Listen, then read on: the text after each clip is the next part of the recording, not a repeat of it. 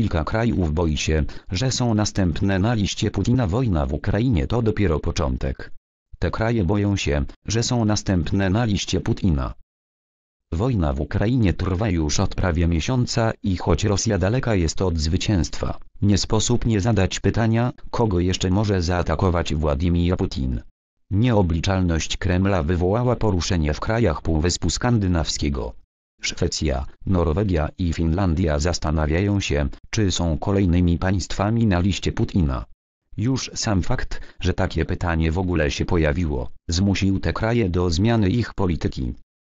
Inwazja Rosji na Ukrainę przyniosła bezprecedensową mobilizację zachodniej Europy. Widząc realność zagrożenia kraje, które jeszcze przed rozpoczęciem wojny nie potrafiły wypełnić swoich zobowiązań w zakresie wydatków obronnych NATO, diametralnie zmieniają swoją politykę.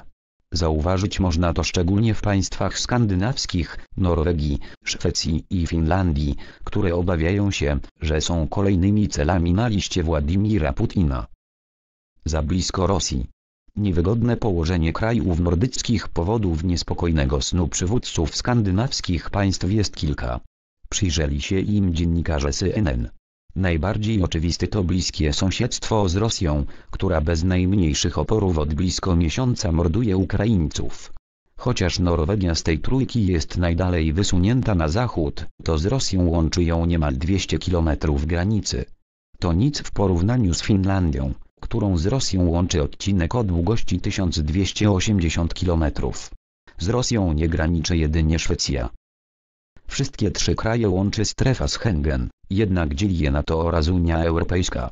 Norwegia, która jest członkiem NATO, nie należy do Unii Europejskiej, podczas gdy Finlandia i Szwecja, które są w Unia Europejska, nie należą do NATO.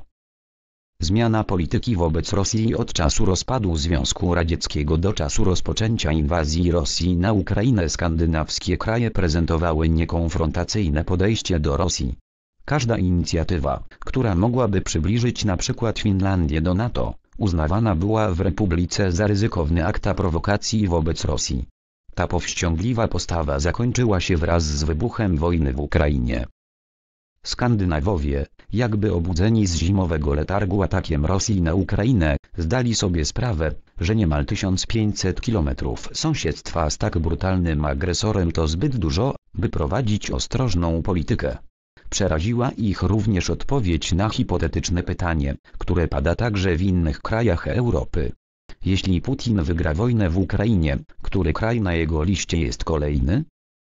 Odpowiedź dla polityków współwyspu skandynawskiego jest jednoznaczna. Dlatego Finlandia i Szwecja zerwały z wieloletnią tradycją, aby nie eksportować broni do strefy wojennych i postanowiły wysyłać dostawy na Ukrainę. Tylko pod koniec lutego Szwecja wysłała na Ukrainę 5000 hełmów oraz tyle samo broni przeciwpancernej. Finlandia z kolei mocno zastanawia się nad członkostwem w NATO. Wojna w Ukrainie zburzyła równowagę przerażenie ewentualną inwazją Rosji na kolejny po Ukrainie kraj daje się odczuć szczególnie w Finlandii. Niewątpliwie mają na to wpływ doświadczenia II wojny światowej.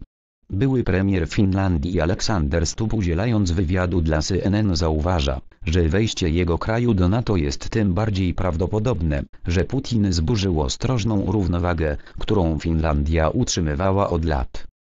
Finlandia kieruje się tym, co nazywam racjonalnym strachem. Widzimy agresję Rosji i nie chcemy zostać sami, jak podczas II wojny światowej. Wejście do NATO było do tej pory dla Finlandii środkiem odstraszającym, aby powstrzymać Rosję przed ewentualną agresją. W obliczu obecnej wojny coraz więcej Finów chce dołączenia do sojuszu.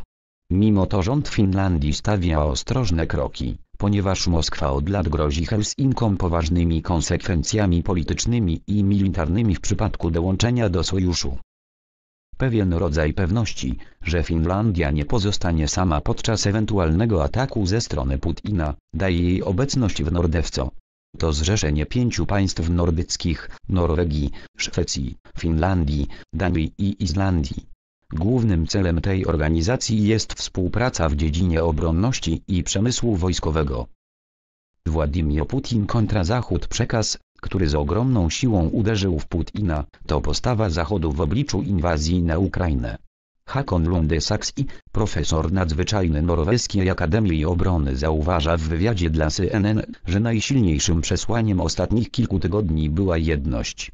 Najpierw Dania i Szwecja wysłały śmiercionośny sprzęt na Ukrainę, potem w ich ślady poszły Finlandia i Norwegia. Barbarzyńska wojna na Ukrainie zelektryzowała kraje Europy, które kiedyś cofały się, gdy tylko postawa Putina i Rosji stawała się bardziej agresywna. CNN podkreśla, że pomimo okropności trwającej wojny, kontynent wyjdzie z tego konfliktu lepiej przygotowany na ewentualne zagrożenia, które co jakiś czas płyną ze wschodu.